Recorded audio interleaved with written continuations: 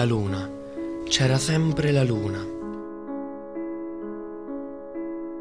La incontravo quasi sempre di notte, di nascosto. Passeggiavamo lungo il fiume. Accanto a noi ruderi di imponenti vestigia, a ricordarci la precarietà del fato. Lì sostavamo, circondati da quelle vetuste rovine, come al centro di una scena. Le uniche parole che ci scambiavamo erano quelle del libro. Il destino della nostra passione? Un copione già scritto. La nostra recitazione era da timide comparse, è vero, ma almeno lì ero io il protagonista nel teatro del suo cuore. Chi sei tu, che difeso dall'ombra della notte entri nel mio chiuso pensiero? Con un nome non so dirti chi sono. Odio il mio nome che ti è nemico. Straccerei il foglio dove fosse scritto chi ti ha guidato in questo luogo? Con i miei occhi amore mi aiuta a cercarlo e con il suo consiglio. Io non sono pilota, ma se tu fossi lontana, quanto la più deserta spiaggia del più lontano mare, io mi spingerei là, sopra una nave, per una merce tanto preziosa. La maschera della notte mi nasconde il viso. Vedresti il rosso allora che copre le mie guance per le parole dette questa notte. Per la felice luna che imbianca alle cime di questi alberi. Io giuro... No, non giurare per la luna, per l'incostante luna che ogni mese muta il cerchio della sua orbita. Non vorrei che il tuo amore fosse come il moto della luna. E per cosa devo allora giurare? Non giurare, o giura per te, che sei il Dio che il mio cuore ama, e sarai creduto. La luna, c'era sempre la luna in quei sogni, che altro non erano i miei incontri con Chiara. E solo nei sogni avevo il coraggio di dirle quelle parole, che da lungo tempo anelavo rivolgerle anche nella realtà, sin da quando, bambini entrambi, ci ritrovammo per caso insieme nel cortile del suo palazzo.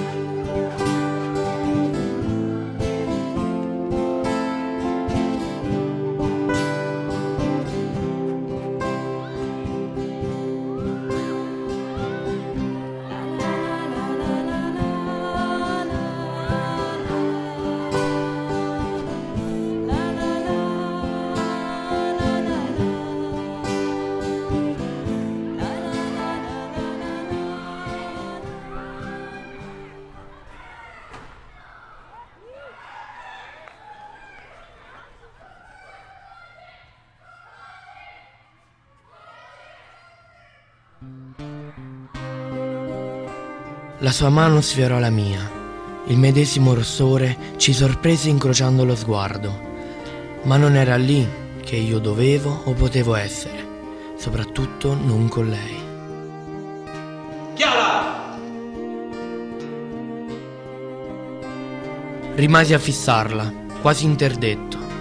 Da allora per sempre rapito da quegli occhi e da quel volto, dipinto nella mia mente perché io non ero ricco né di nobili origini. Quella mano potevo sfiorarla solo per sbaglio. Gli anni passarono e seppi che lei aveva rifiutato tanti pretendenti, nobili, giunti perfino dalla capitale, richiamati dalla sua leggendaria bellezza. Non ne conoscevo le ragioni, ma in cuor mio speravo c'entrasse quella mano sfiorata tanti anni prima.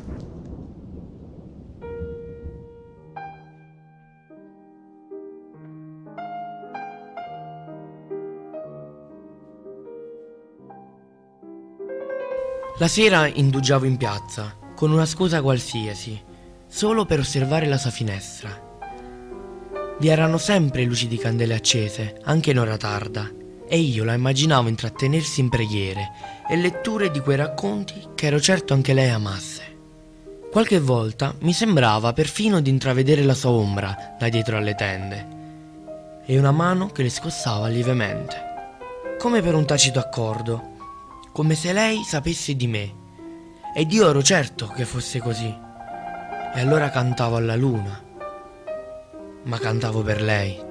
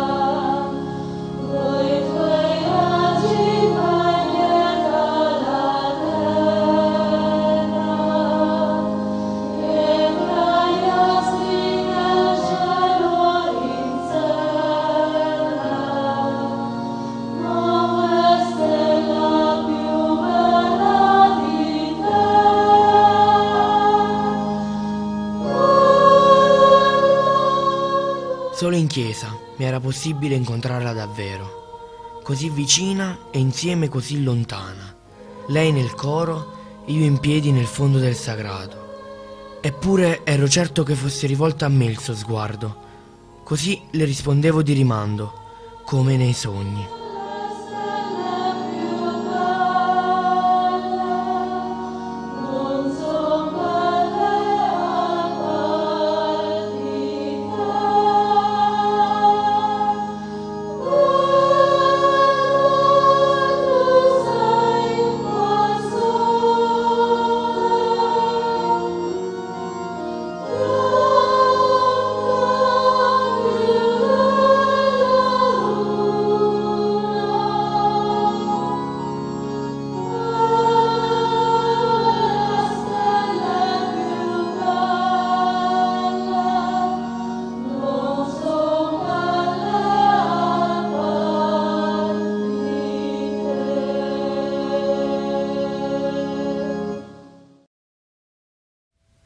Alcune settimane un terribile morbo infuriava per tutta la regione e aveva già fatto alcune vittime in paese, per cui tutti rimanevamo chiusi in casa per cercare di evitare il contagio. Ero preoccupato e anche dispiaciuto, perché così non avevo più modo di incontrare Chiara neppure in chiesa. Allora non facevo che pensare a lei. E una notte successe l'incredibile.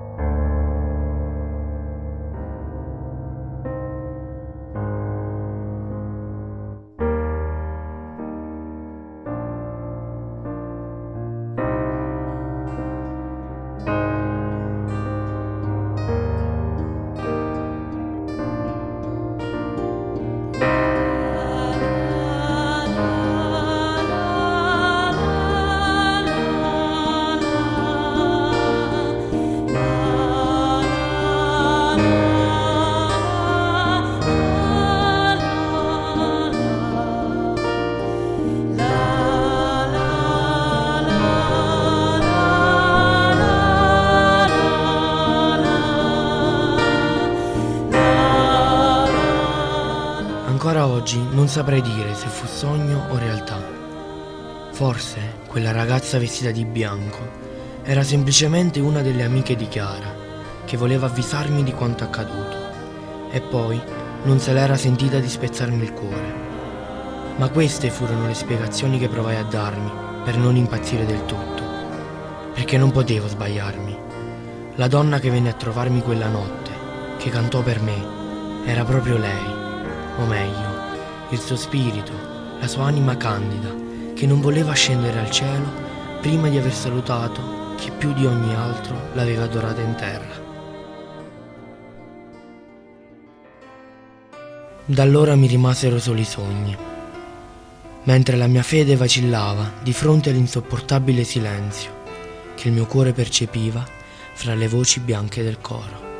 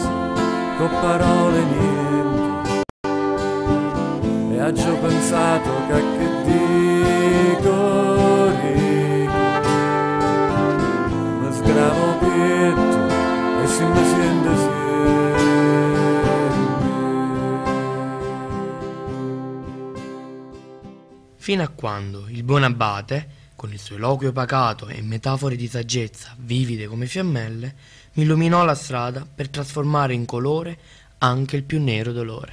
Osserva la fiamma di questa candela. Voglio mostrarti una cosa. Adesso, se guardi altrove, vedi ancora l'alone della fiamma, È vero, ma dopo un battito di ciglia, che tu lo voglia o no, l'alone scompare. Bisogna solo avere pazienza. non lo so padre, se voglio che la fiamma che mi brucia dentro sparisca davvero. Soffro nel ricordo, ma soffrirei ancora di più se dovessi dimenticare. Niente è eterno, tranne il Signore, ma noi, piccoli uomini, abbiamo escogitato dei trucchi per avvicinarci a Lui. Uno di questi è la pittura. Sin da piccolo tu amavi tutte le arti, la musica, la poesia, ma soprattutto il disegno. Io voglio che realizzi l'affresco di questa cappella, consacrata alla Madonna della Tenerezza. Pensaci, disegnale un volto bellissimo per sfidare l'oblio.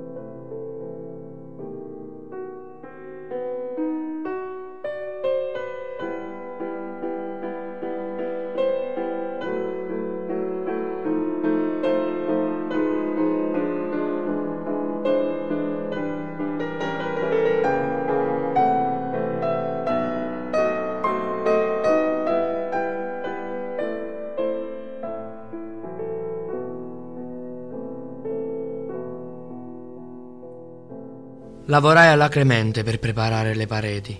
Era anche un modo di distrarmi e pensando a disegnare quelle sacre figure, riavvicinarmi al Signore. Nel giro di poche settimane la preparazione fu completata, ma non avevo ancora iniziato a dipingere il viso di Maria. Ero quasi frenato, come se le mie mani non avessero ancora il coraggio necessario, e intanto il tempo passava.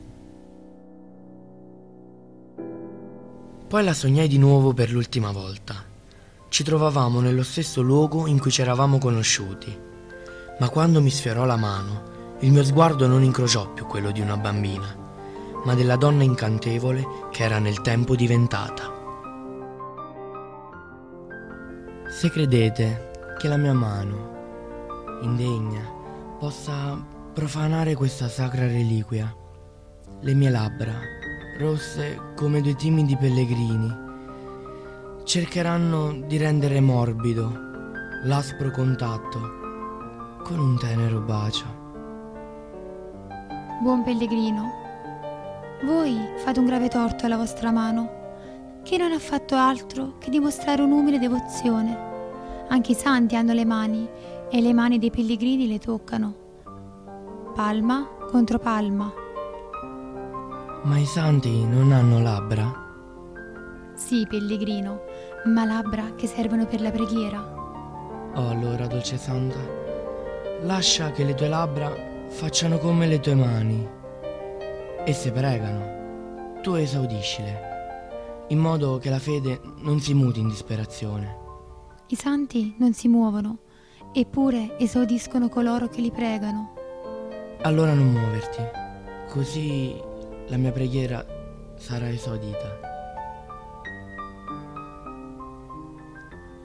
Ecco, le tue labbra hanno tolto il peccato dalle mie. Allora le mie labbra portano il peccato che hanno tolto. Il peccato dalle mie labbra? Oh, colpa dolcemente rimproverata, rendimi il mio peccato. Buonanotte, mio amore. Questo germoglio d'amore che si apre al mite vento dell'estate sarà uno splendido fiore quando ci rivedremo ancora. E quando ti rivedrò? Quando rivedrò il tuo viso? quando sarai di nuovo bambino ed io finalmente madre.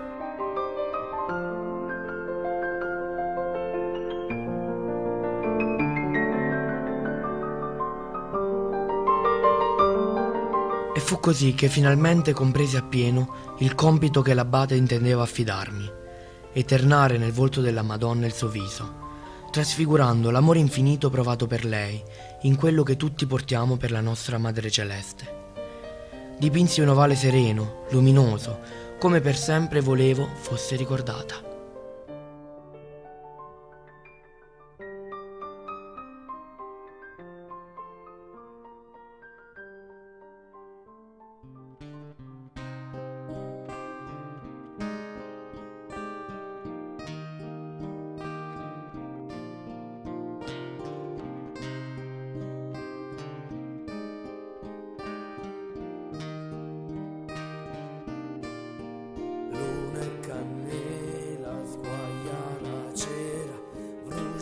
Tela e vieni a me,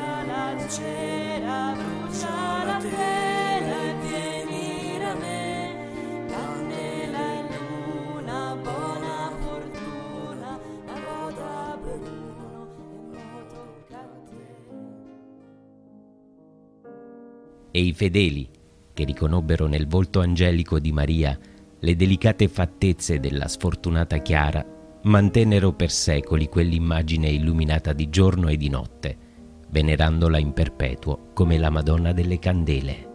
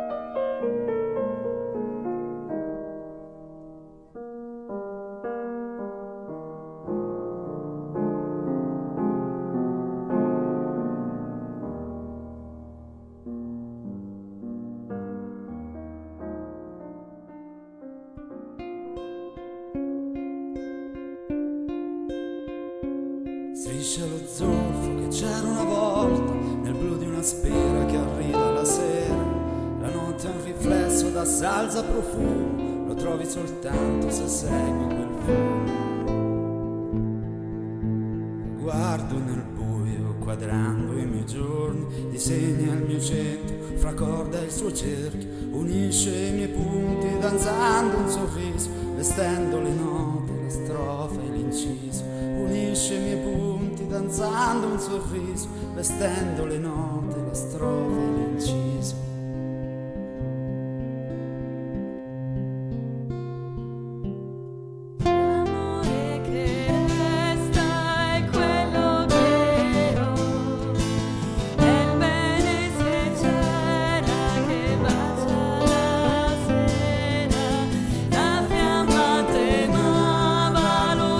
Sguardo